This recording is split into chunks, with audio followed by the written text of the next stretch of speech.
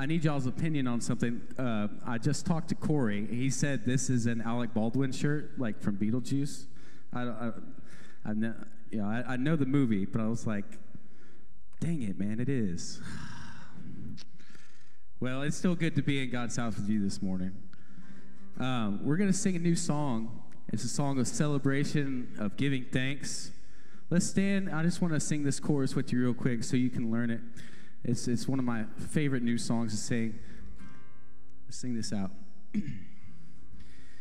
You pick me up, turn me around. You place my feet on solid ground. I thank the Master, I thank the Savior, because you healed my heart, you changed my name, forever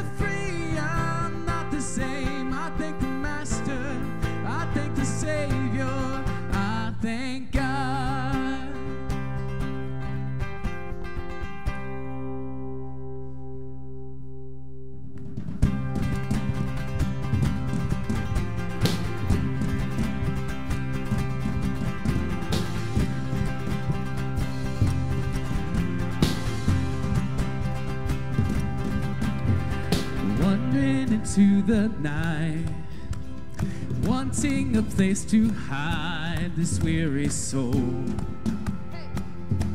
this bag of bones. I try with all my might, and I just can't win the fight. I'm slowly drifting, a vagabond. Just when I ran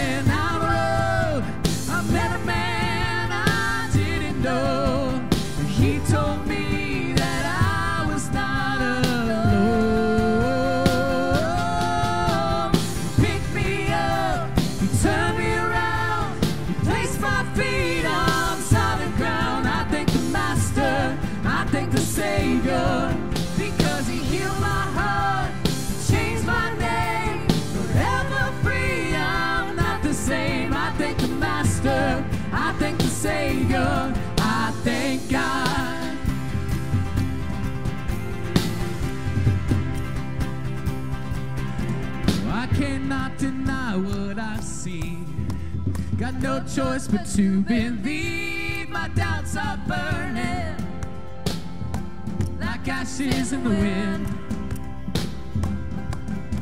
So, so long to my old friends.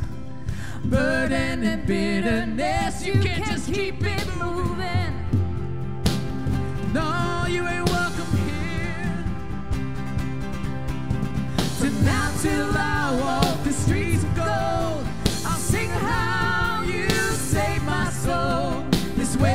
wayward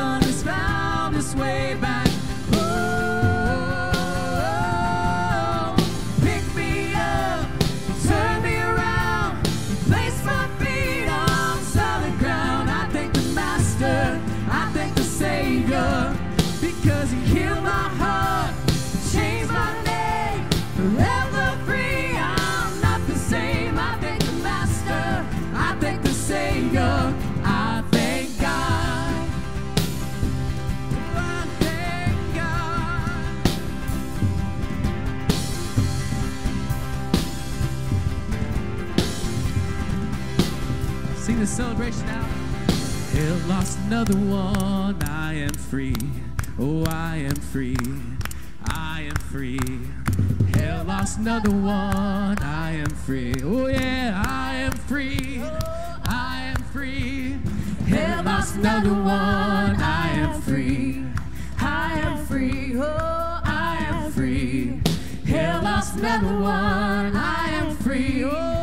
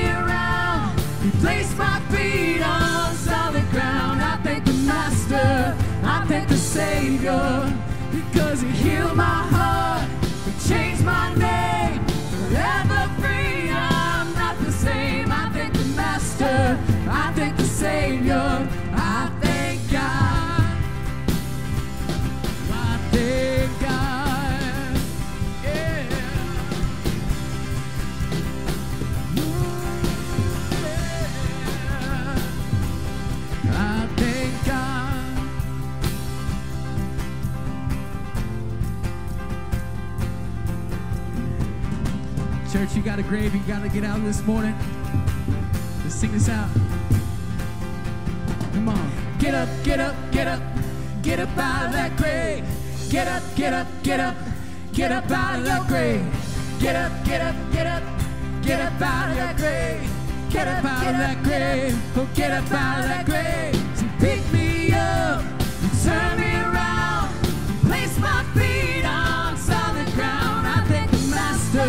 I thank the Savior. Because He healed my heart.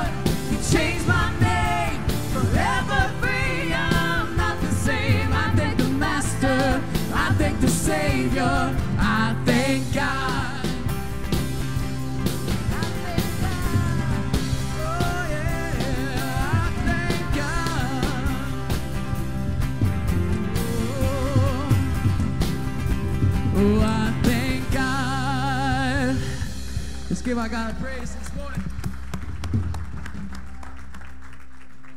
If you would turn your attention to the baptistry.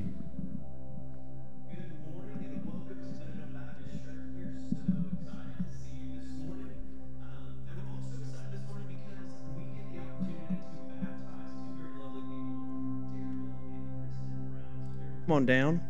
Uh, both Daryl and Kristen had made decisions when um, when they were younger just had not been baptized. Um, and they told me that you know they hadn't been going to church anywhere and it's the coolest story because their daughter started asking them questions. And they're like, we don't know the answers to these questions. Let's get to church. And so they came and visited Meadowdale um, and fell in love with it. Um, and we are just so excited to have them here um, and have them getting baptized this morning. And so, Daryl, get you to arm there. Thank you, sir. Um, I'm going to pray for you, um, and then we're going to baptize you, all right? Father God, I thank you so much for this man and his wife, Lord, for the love that they have for their child, that they want her to know you, and they want to have a relationship themselves with you. And Lord, I'm thank you that you tell us that if we call on your name, we will be saved, Lord. So, Father, I just pray that you would lift Daryl up and that you would just bless him, that you would guide his walk as he follows you, Lord. Just show him your mercy and your grace every single day. Lord, help us as a church to help him to grow in his relationship with you, It's in Jesus' name that I pray. Amen. Daryl, I baptize you, my brother, in the name of the Father, and the Son, and the Holy Spirit, buried to death in baptism, and raised to walk in new life with him.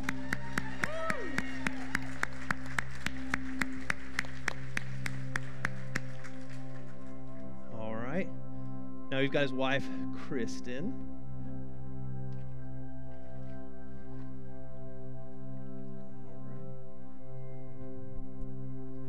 Now I'm really I'm really proud of Kristen. She's a little nervous about being in front of y'all, so don't don't don't say anything weird, okay? All right, let me pray for you. Father God, thank you so much for Kristen. That she has made this decision to follow you, to give you priority in her life. Lord, we just ask that you guide her, that you show her the steps that she needs to take, both for herself, but also for her family, Lord. Let her just fall in love with you every single day. Lord, help us as a church to guide her and to show her the way as she pursues after you. It's in Jesus' name I pray. Amen. I baptize you, my sister, in the name of the Father, and the Son, and the Holy Spirit, buried to death in baptism, and raised to walk in new life with Him.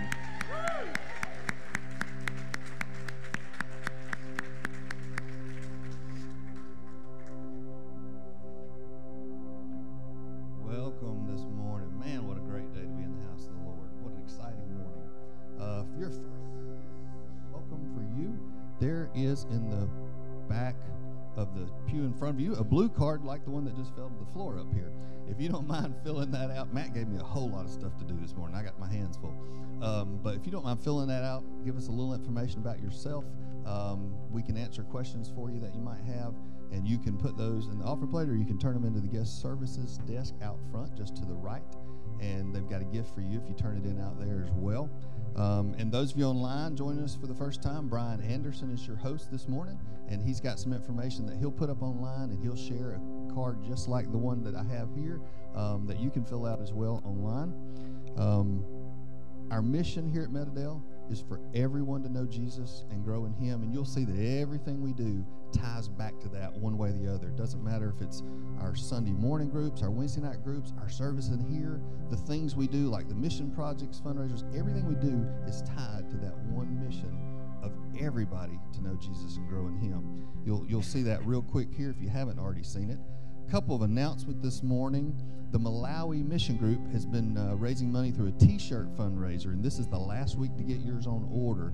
There will be someone out in the foyer after the service to take your order for those T-shirts, um, but don't you don't want to miss that chance this week.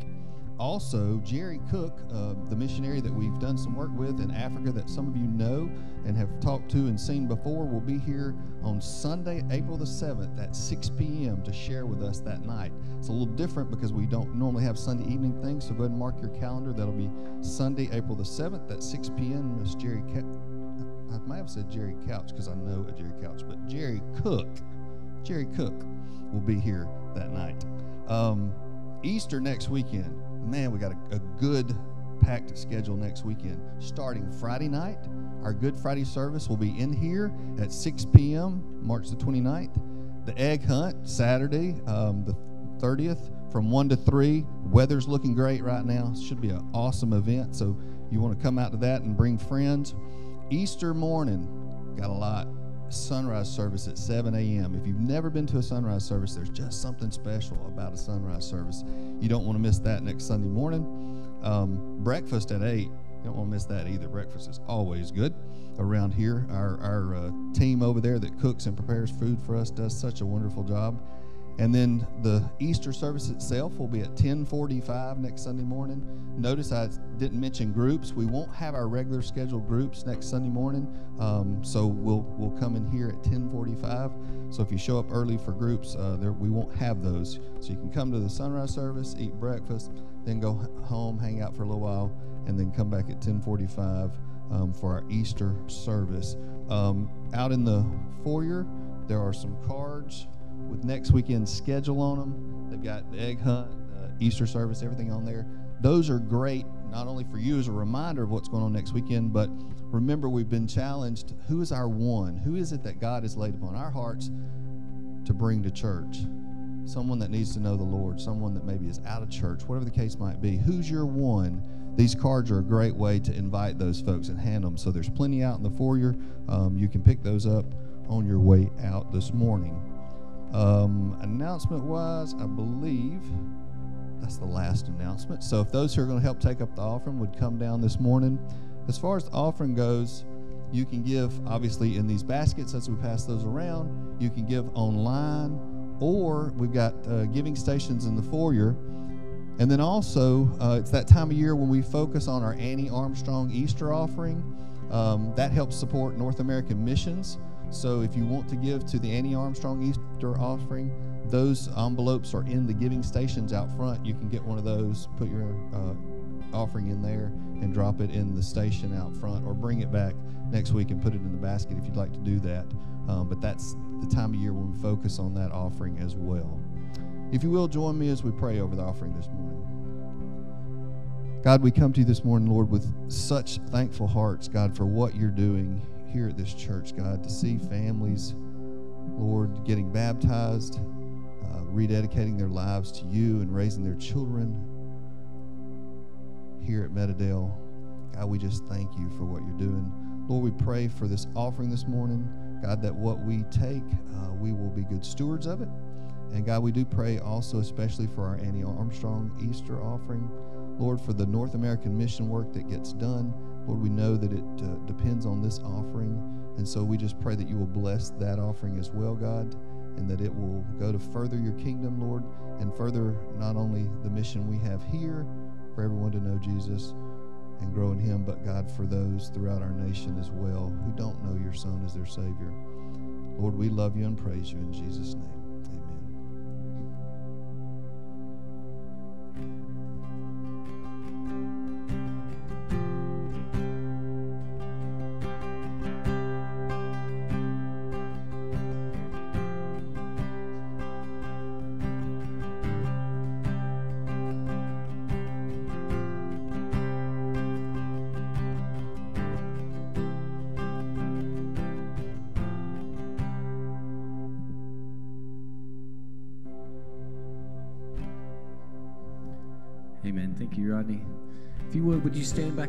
Us let's just keep worshiping our King.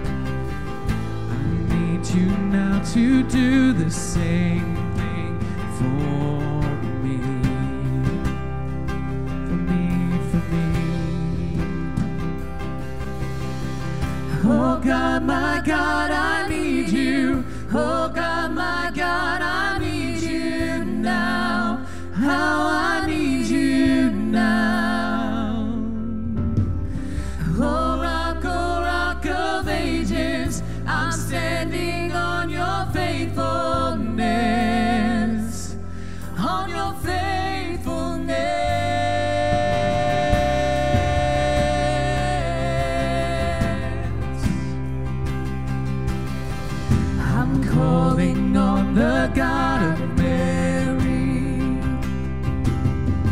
whose favor rests upon the lowly. All things are possible. I know with you all things are possible. I'm calling on the God of David, who made a shepherd boy courageous. I may not face Goliath, but I've got my own giant. Oh God, my God,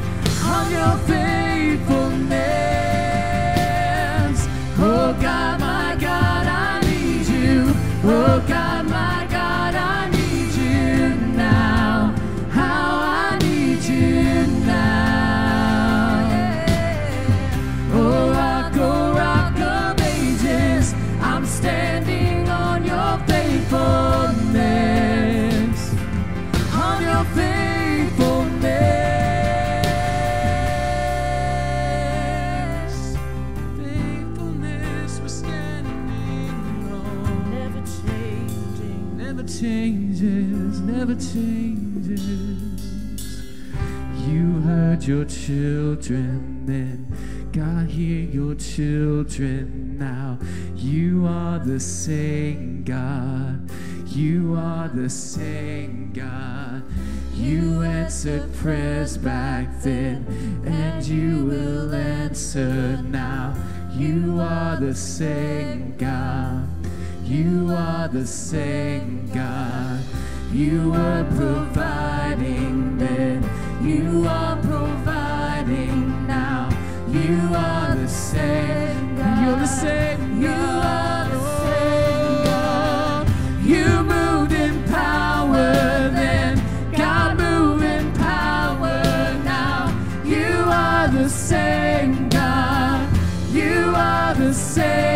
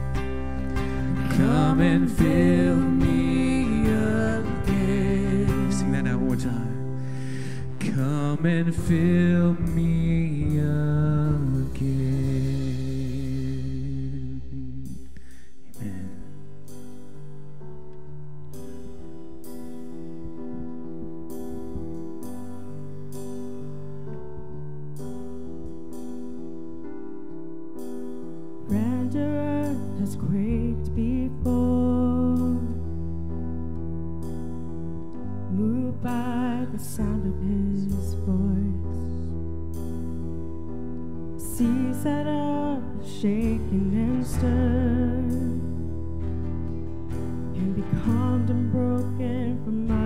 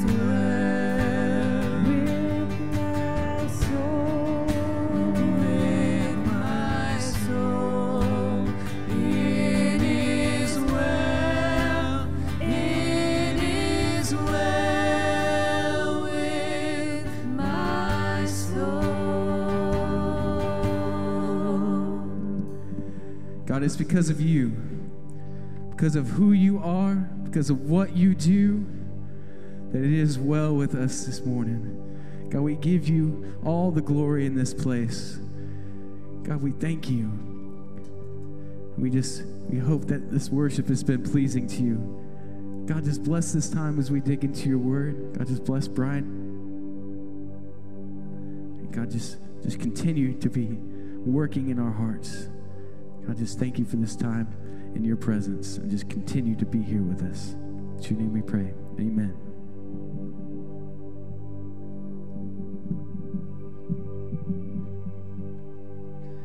Amen.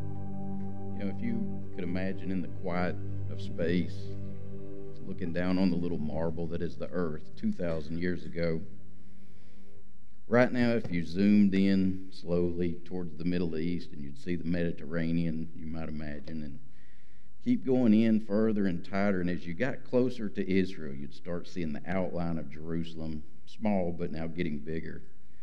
And then as you, you paused and hovered above that city, what you would see this week, 2,000 years ago, would be a, a, a buzz of activity. Caravans of people coming up towards Jerusalem from these lower areas, moving, people celebrating, people playing instruments. You would see vendors all around. You would see the, the streets packed with people. Uh, and what it was, this celebration that had been going on for hundreds of years in Israel was at its height, moving towards the crescendo, which was Passover. And this day, as Christians, we call Palm Sunday. That's what we're celebrating today. But on that day, 2,000 years ago, what you were seeing were people coming to Jerusalem. They weren't coming for Palm Sunday, they were coming for what would be the Passover. And so as people moved in, this place got more and more dense. The Roman authorities who ran Jerusalem at that time would assign extra garrisons of people to police. So you had soldiers policing the area because if there was a religious fervor on top of the celebration that would be going on. And you can just imagine as you get closer and maybe even go down towards street level, kids running, people celebrating, these different people from all over that area and actually from all over the region, as far away as, as Greece and, and Rome would be coming, all the Jews would be arriving, if they could, especially the wealthy, would arrive to celebrate the Passover. And so, as this happened, this, this intensity, this intense celebration would also be mixed with this fervor that could be aggressive at times. And the reason for that is they were under occupation. They were being ruled by the Romans. They didn't like that. They wanted God to be in authority. They wanted the religious leaders to be the ones that told them what to do and not some foreign government way away. And so all of this is mixed into this stew, and it's in the midst of that moment that Jesus comes down from the, from the eastern side and, and he rides in on a donkey. And when he does this, to us it seems like, eh, what does that mean? What does it matter that he did that? What does it mean that he came into town that way? Jesus with his rabble of followers coming into town. Well, it meant a whole lot. And when you understand the context of what was going on at that time and also the prophetic understanding that the Jews of that time had, there's powerful symbolism there. And so as we move into that scene, I want to read to you just one of the passages. There's plenty. One of the passages that's talking about that very moment in time. John chapter 12 begins The next day, a great multitude that had come to the feast, when they heard that Jesus was coming to Jerusalem, took branches of palm trees. They went out to meet him and cried out, Hosanna! Blessed is he who comes in the name of the Lord, the King of Israel. Then Jesus, when he had found a young donkey, sat on it, as it is written Fear not, daughter of Zion. Behold, your king is coming, sitting on a donkey's colt. And so this is the, this fervor that Jesus rides into with people celebrating, and it's the palm fronds that we see uh, even now that we'll celebrate with, and all across the world, even today, we begin what we call Holy Week. This is the beginning of Holy Week, not only for us, but Catholics, Orthodox, all around the world. Christians begin celebrating the Holy Week this day. And Jesus initiated that by riding into town on this donkey to people proclaiming him to be king, which is an amazing scene, I can imagine, especially given the fact that there were thousands of people doing this. But the curious thing is, what they were saying wasn't really the case.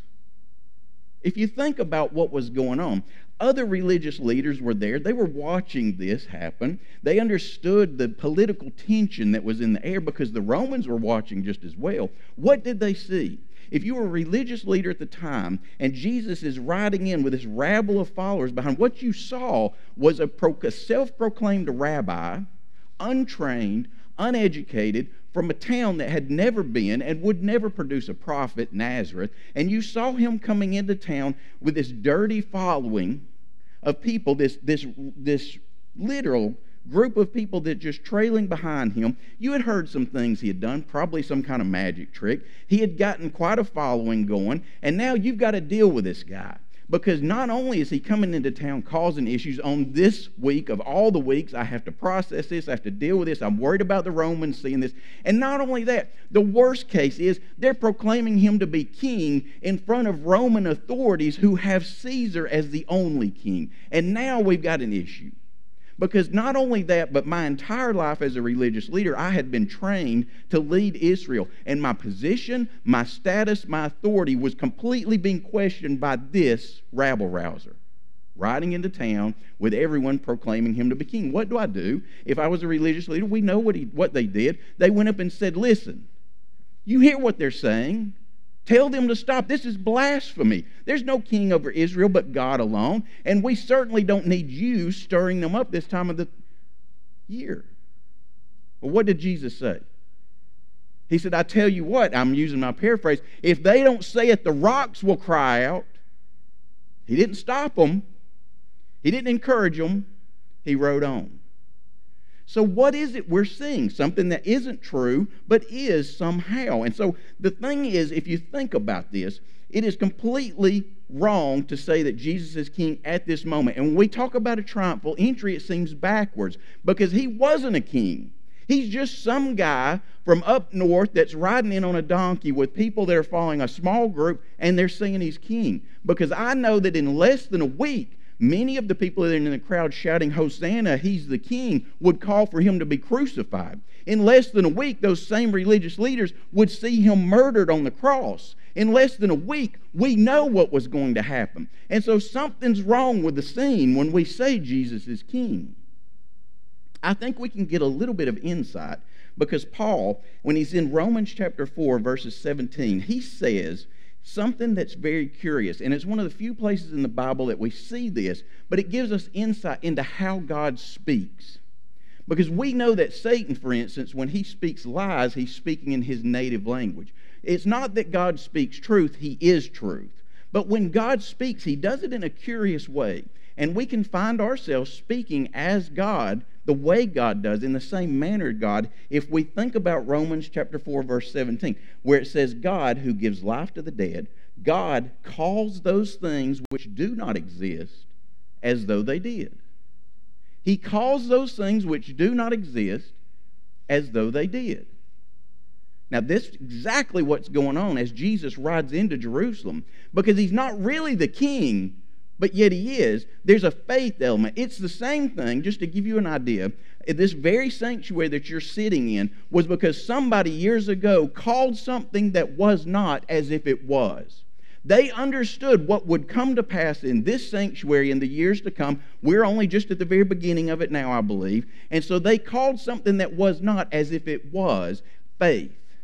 They were proclaiming what would be, even though you couldn't see it. If you were looking at it from the religious leader perspective, that's not true. But they knew it was. And I believe there's a significant number in the crowd that did think Jesus was the king, even though he wasn't clearly of anything on earth. He was king in their heart already because they believe. And so they're proclaiming what would be, even though it's not now. Do you know that we can still do that? We can still speak as God. And so when I stand up here and I tell you what I think is going to happen in this church, I know I might look crazy. I may not be speaking about something you might believe necessarily, but I think it can be because if God says it, it will be.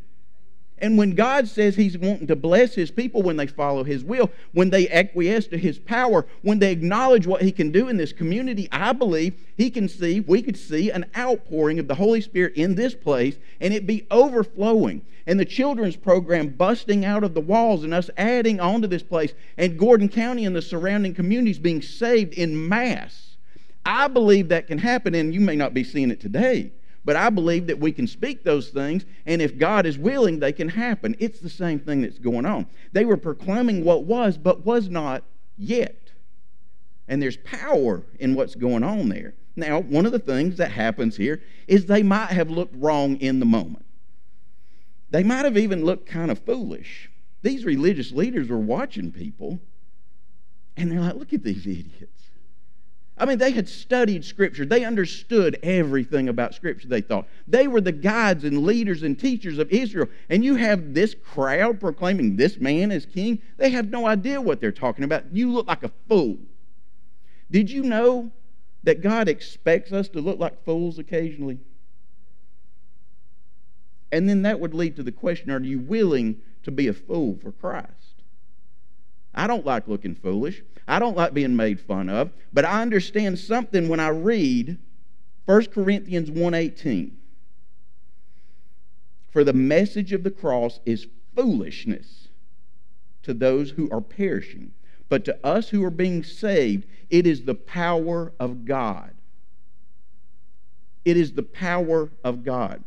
Are you willing to look like a fool so that somebody can be saved? Are you willing to take abuse? Are you willing to not be the most popular one at school? Are you willing to maybe not get the promotion? Are you willing to do what it takes to proclaim the message of the gospel in some way, either by act or by mouth? Don't just say it, walk it. Are you willing to look like a fool for Jesus? Because if you're not, you are not exhibiting the power of God for those that are dying.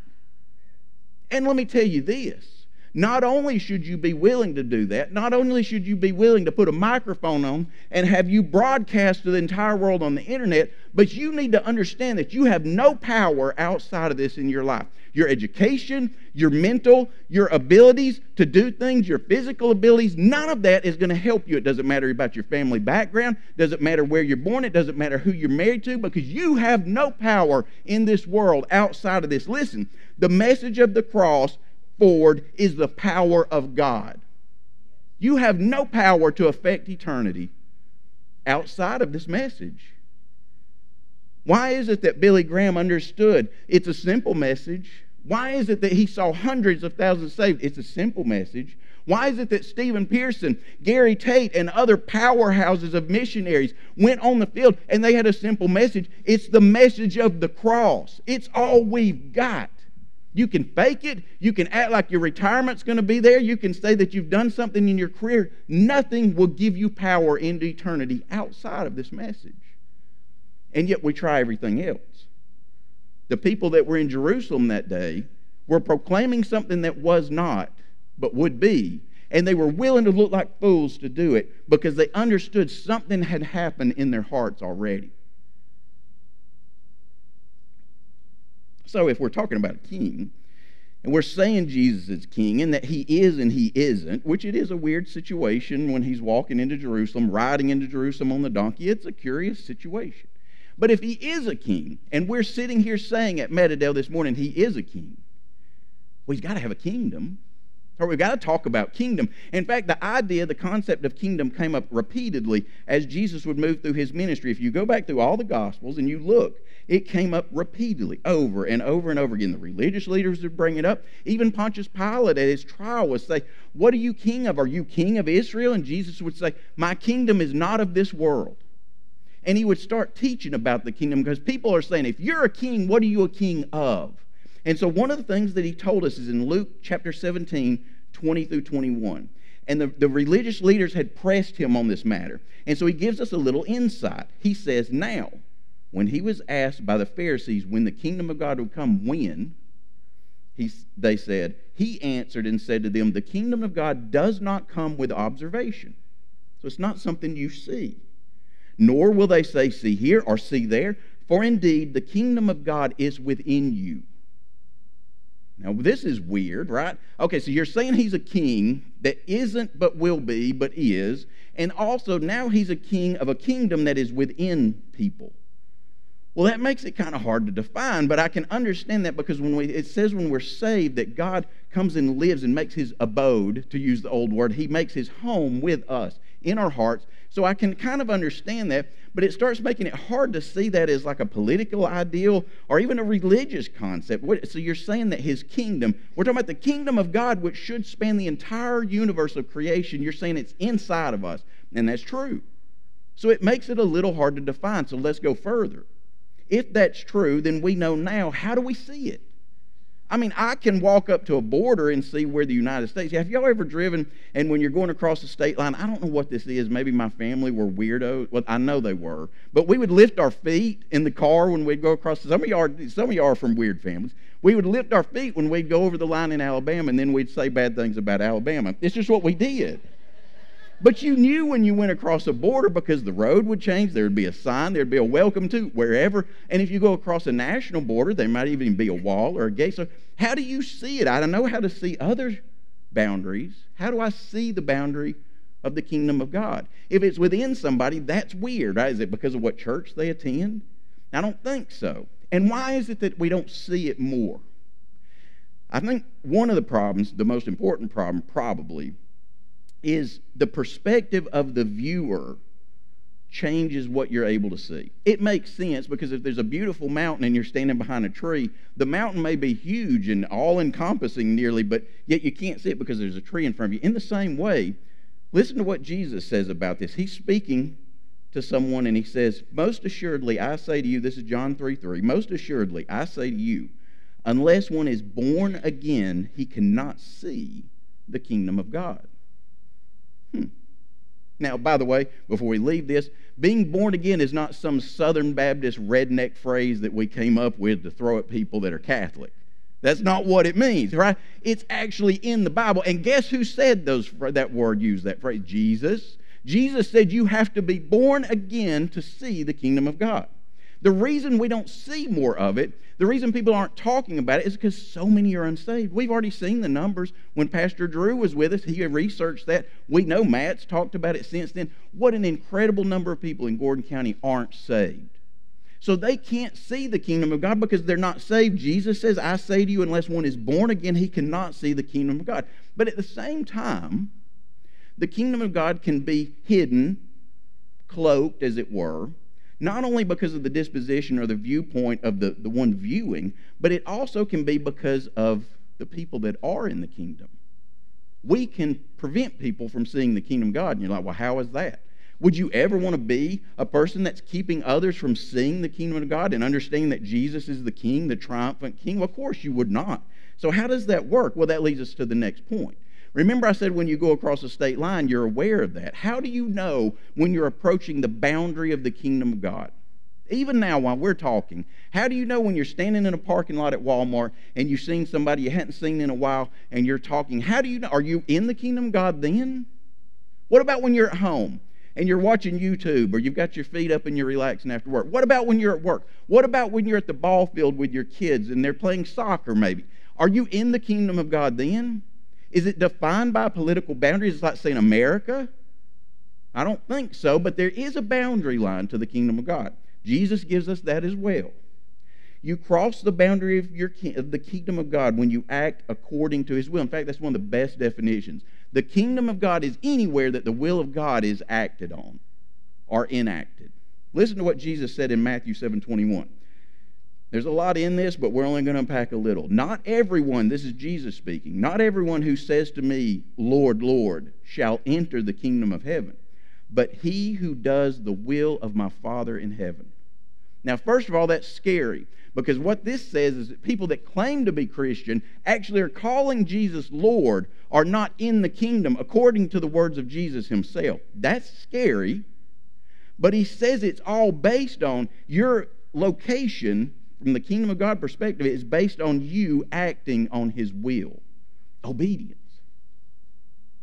So, how do you walk into the kingdom of God? How do you step into the boundary of the kingdom of God? By acting on His will. You do the will of God in your life.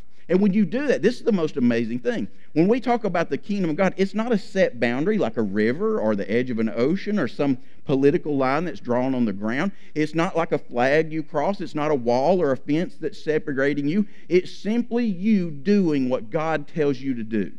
That's it. Now, here all this is where it gets really good because the kingdom of God, it, being defined as such, means it's dynamic. It means it can be expanded. It means that if the kingdom of God ends right here in my life, because that's as far as I'm willing to go to meet His will, to do what God's asked me to do, all of a sudden I hear a redneck preaching a sermon or I listen to a song and I decide, you know what, I'm going to do what God asked me to do finally in this area of my life. And you take a step do you know what you've done? According to this definition, you have expanded the kingdom of God further into this world. You have pressed the boundary of God's kingdom further into this world.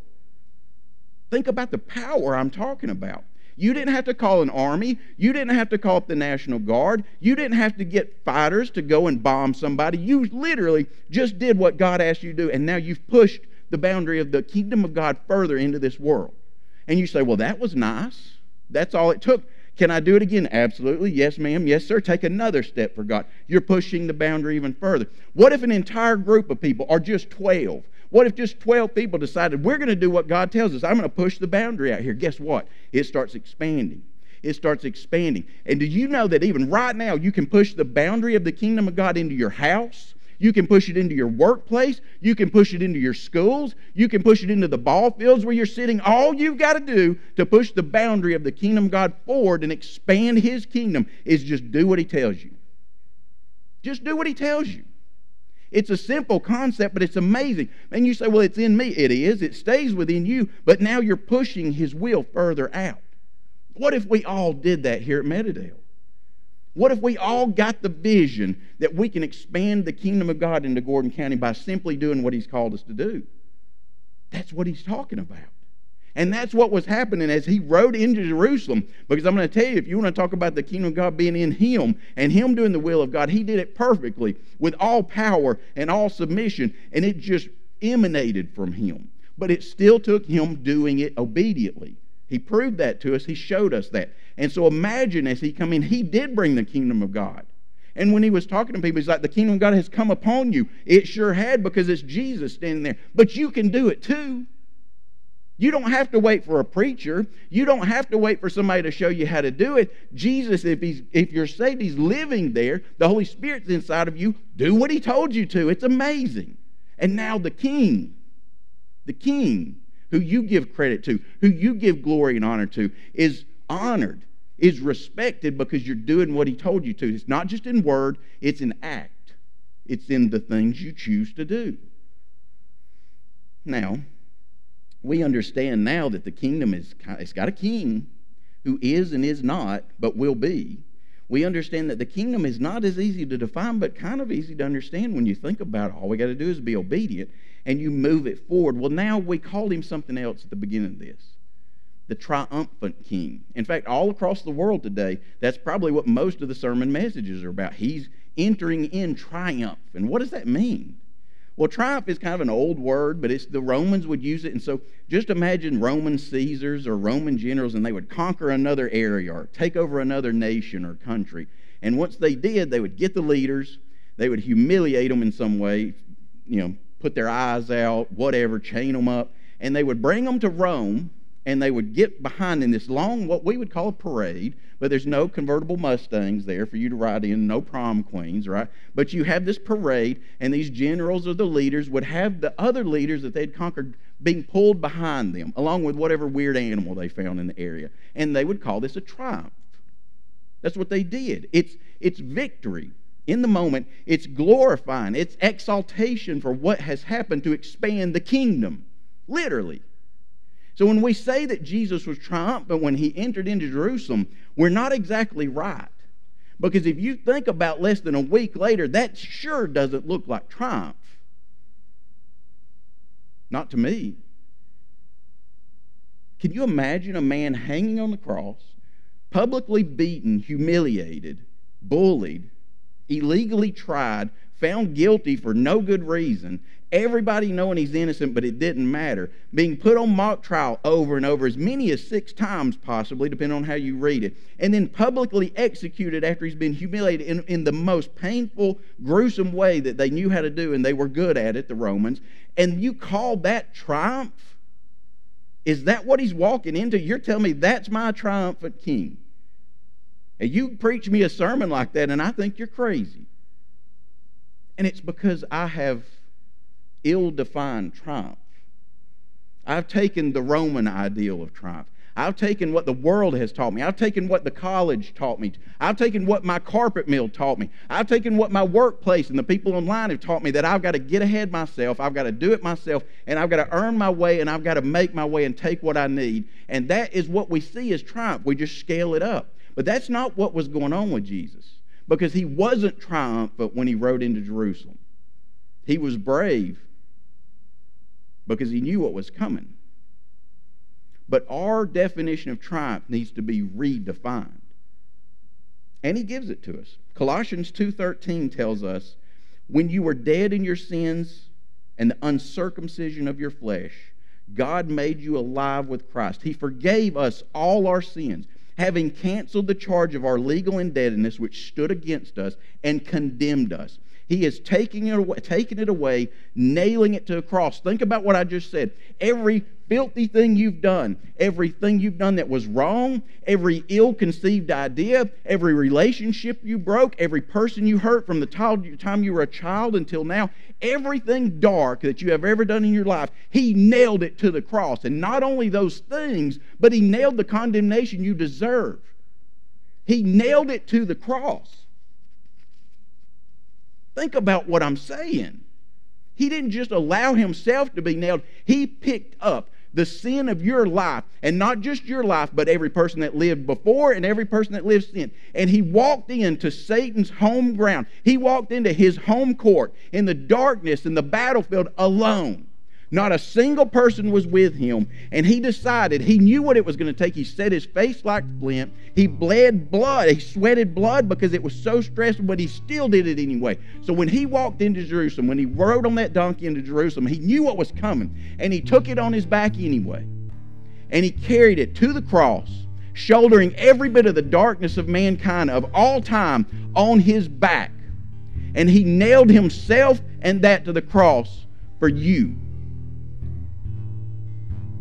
And verse 15 says, And having disarmed the powers and authorities, he made a public spectacle of them, triumphing over them by the cross. No, Jesus was not triumphant when he rode into Jerusalem. That was not what made him our triumphant king. What made him our triumphant king was knowing what was coming and doing it anyway was understanding the pain and the darkness that he was about to endure and doing it anyway. What made him the triumphant king was the fact that he died in our place, that he was buried in Joseph's tomb, and that three days later he would walk out of that tomb on Resurrection Sunday. That's what makes him triumphant. It was the cross that made him my king. It was the cross that made him triumphant. And so we might say Jesus is no longer king of this nation, and that may be true. We might say Jesus is no longer and never was king of our systems, our financial systems, our stock market, and that may be true. We might say that Jesus is still not the king of the world yet. But that's not the question at hand. That's not the question that needs to be answered. The question that most desperately needs to be answered, the question that we need to know the answer for all eternity is not that. The question is Is he your king? Is he your king this morning? And you can tell me, I'm a Christian. I was saved when I was 12. I was saved when I was 20. I'm not asking you that. Because we've already seen you can be out of the kingdom and say you're saved. I'm asking you, is he the king of your life? Are you expanding the kingdom into your house, into your own private life, into your thought world that you live in and nobody else knows? Is he king there or are you? Because if Jesus isn't the king of your life, there's only one other that's sitting on the throne, and it's you. Is it time for you to step back off that throne and let him be who he is? King, glorious, triumphant in your life?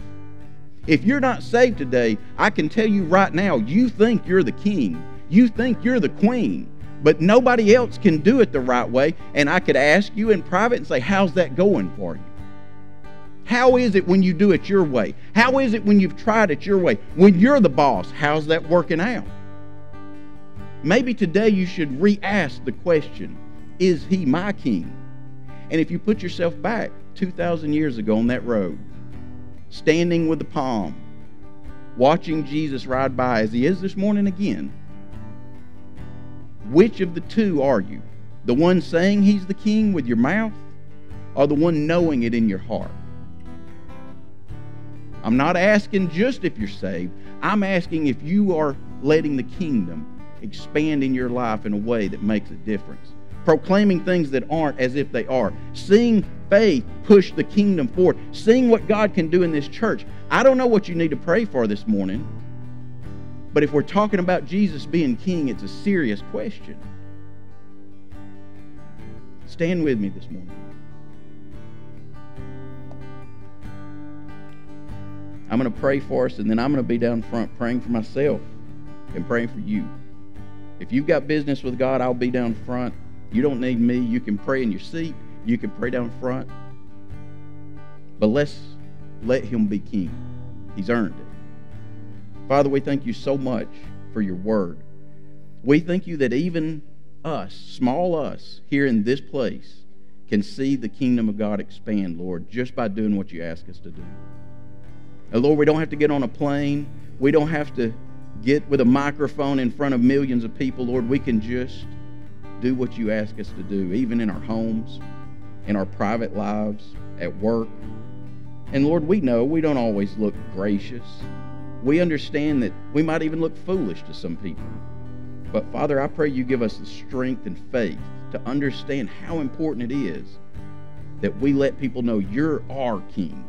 You're not just the King, you're our King, Lord. Help us to push the things out of our lives that keep us from making you that. Help us to put you back where you belong in our lives, Lord, as King, on our throne, on our heart. Lord, help us to give it up and if there's somebody here that doesn't know you as King, Lord, I pray this morning, right now, that they would find that out. Lord, we thank you for what you're doing in this place. You've already shown us again and again. You baptized two more in this place. Lord, it is amazing. Keep doing what you're doing. We thank you so much for it in Jesus' name. Amen.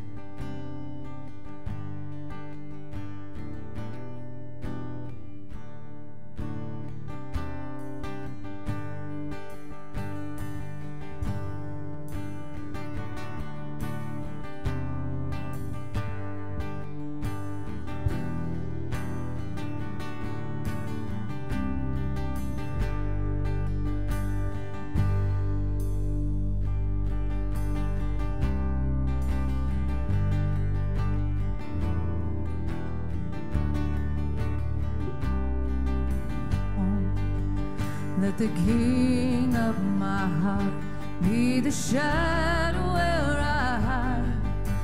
Ransom for my life, oh, is my song. You are good, you're good. Oh, and you are good, you're good.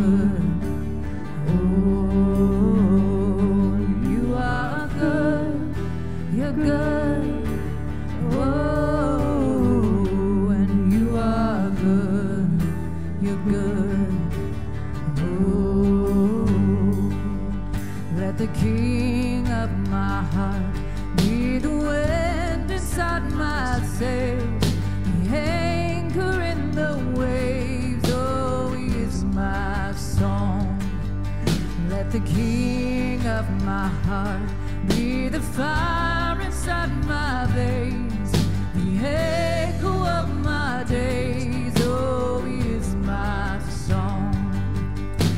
the King of my heart. Be the wind inside my sails, the anchor in the waves. Oh, is my song. Let the King of my heart be the fire inside my veins.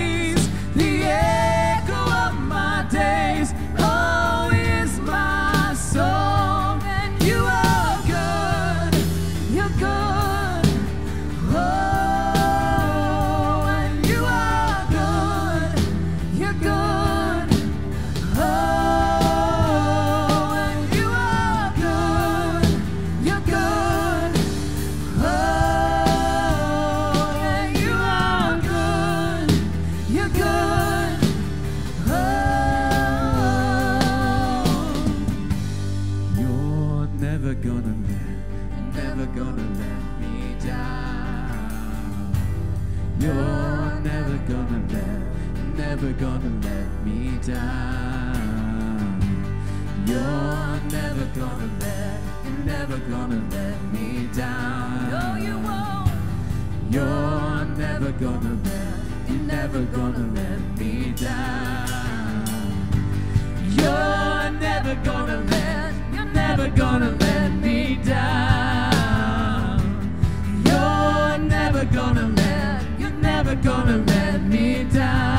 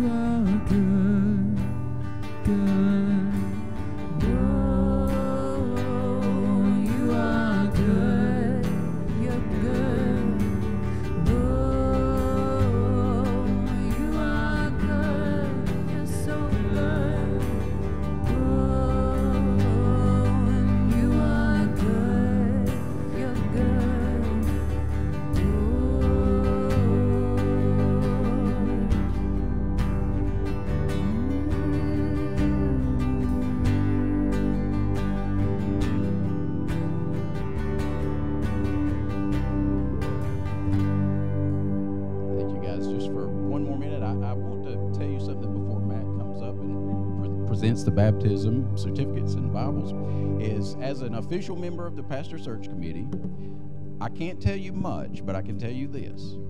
You want to be here next week. Trust me on that. If you can't be here, you need to be watching live stream. Don't want to give you any details because I can't, but you definitely want to be in attendance next week if you can. So that's officially as a pastor search committee member. I mean, not that that, yeah, sure. Great job, Brian. Not that being here next Sunday wasn't already on your list because it's Easter, right? Um, I, am not sure if Brian and I are still friends after all the mean things he said about the place that I'm from. So, um, um, anyways, thank y'all so much for being here this morning. Um, one quick thing, or two quick things. Y'all can have a seat because it's going to just take just a second. Um, first, I want to um, announce and welcome um, our new family that got baptized this morning, Daryl and Kristen Brown. If y'all can stand up for just one second, um, they are also joining as new members, and so we're excited to have them this morning. So be sure to say hello to them um, as you see them, um, and just say welcome. Um, one other thing um, that I want to talk to you about is Easter next Sunday. I want to give y'all a couple. Um, we're calling them encouragements because we can't really make you do them, but if you do them, they would be really helpful for us. Um, the first is this if you are someone who does not have children, we would really appreciate it if you would park in this big parking lot over here. Um, you know, next Sunday is Easter. There's going to be a lot of people here. Um, and we'd really love to be able to leave the smaller parking lot, which is closer to our MKids building, um, for both guests but also families with children so that they can quickly get their kids to MKids and, and get over here. If you park over here, it's just as close, I'm telling you, to walk to the sanctuary over there as it is. So, um, if you can help us out just for next Sunday, after that, you can go back to your favorite parking spot because um, I know Brian Holland will. Um, you don't mess with his spot. The second thing, um, if you do have kids specifically, please try to be here by 10:30. There, there's going to be a lot of kids to check in, and that line could get really backed up. And we want to make sure that you're in here for the start of the service. Um, so that would just really help Regina and the MKids team out if you can be here a little bit earlier than you might normally, um, because we want to make sure that all the families are able to get their kids checked in and get over here to the service by the time that we start. Um, also, just remember all the other stuff that we have for Easter Good Friday service on Friday, the Easter egg hunt on Saturday, and our Easter services on Sunday invite that one. Let's pack this place out and have a wonderful Easter. You guys have a great week. You are dismissed.